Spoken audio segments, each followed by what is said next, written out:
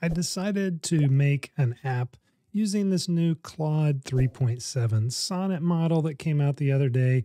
And it's an app that I've been experimenting with with my very limited programming knowledge for a while. It's for my kids. It's a pixel art color by number generator. And yes, you should be drooling because this is incredible.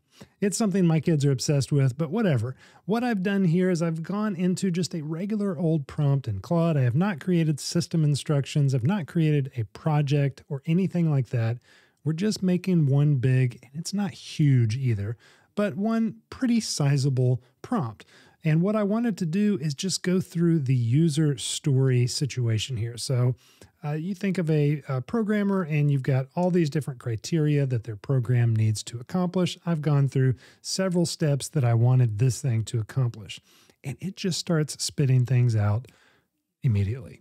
Now, that's in the regular, not the deep thinking or not extended reasoning version. So then I opened another window and I created the same prompt over here and I went a little nutso in formatting. You don't have to do new lines for this, but I'm OCD like that sometimes, so I did. And I made it look pretty, and I put on the deep thinking uh, deal, and I saw what this would look like compared to the first output. And what I found is going to surprise you probably. What I do is I go into Visual Studio Code, make a directory, like get things set up on my desktop so that I've got an actual directory for all this to be housed in.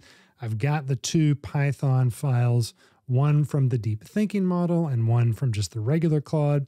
I went and I got some pictures because basically what this does, this program does, it takes an image, it downscales it, it pixelates it pretty much, and then it generates a graph paper looking thing with color by numbers. So it's like graph paper, and I want it to have numbers representing the colors that the kids are going to color in here. So those are really the only inputs.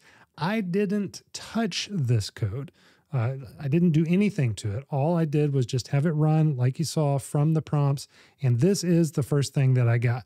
Now, the color key was messed up, but it worked. I mean, and I threw it over into Excel. I was going to do some conditional formatting to check stuff, but I could kind of see, I could kind of eyeball that, yeah, you know, it's it's doing some pretty good output.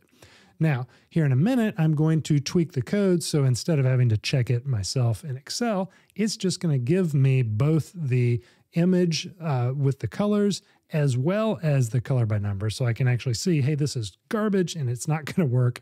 Let's correct that. Um, so I'm going in here now, and the deep thinking model, it actually created an error. So it imported, it tried to import web colors.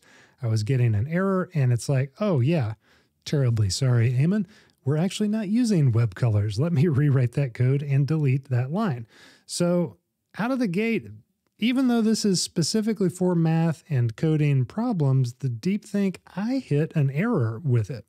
Now, you might say, okay, throw it out, garbage. Well, the output when I did get it working was actually a little bit superior. Just the layout of the graphs and everything, it looked better the version that I got from the DeepThink. So general output, it needed tweaking for some weird reason. And it was a pretty amateur mistake, like trying to import a module that was not being used.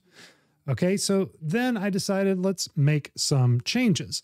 Let's go in and have it actually give us in the PDF. Well, let's do two things. Let's have it do multiple files instead of just one file at a time, but then also give us uh, an image that can go with so we can check what the uh, image is supposed to look like okay, here's the part where I'm actually adding the functionality to make a directory of images. So I can just grab like 20 images that I want to be converted into these PDF, printable PDF deals, coloring pages for the kids, and uh, going through another kind of lengthy explanation of what I want it to do.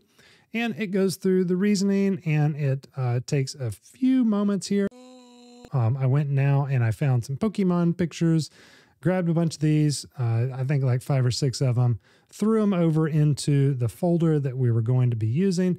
I tried to get some with some different colors. I think they were all PNGs except perhaps one. So this did work with PNGs or JPEGs. I did run into another error there.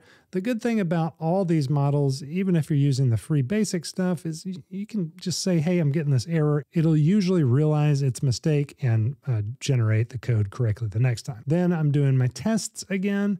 And sure enough, lo and behold, it's actually printing out everything in the directory that I wanted it to, each page followed by, as you can see, the actual colored in image. This was an incredibly good output for, I spent, I think, 30 minutes in total. And a lot of that, I sped this up, of course, in the playback. A lot of that was just in me being kind of dense and just moving slowly. And I didn't at all, like I said, edit the code anywhere. So this was all code that was just generated on the fly. You can see I did some Mona Lisa right there at the end, and it even did some nice artwork like that. So I'm quite impressed. I mean, this has great potential for somebody like me with a little bit of technical knowledge, but not a ton of know how to fill in my knowledge gaps on the fly, pretty much learning as I go the next thing right in front of me. That's what I'm so excited about with this. It's been quiet on the Claude front for a while, so I'm happy to have a new release. It's still kind of the winner for me in terms of writing output for creative writing, as well as, as I've seen here, building scripts. If you like stuff like this, please sign up for my free newsletter in the description below. I think you'll get some value out of it as well. Subscribe to this channel if you haven't already. Hope you have a great one. Talk to you later.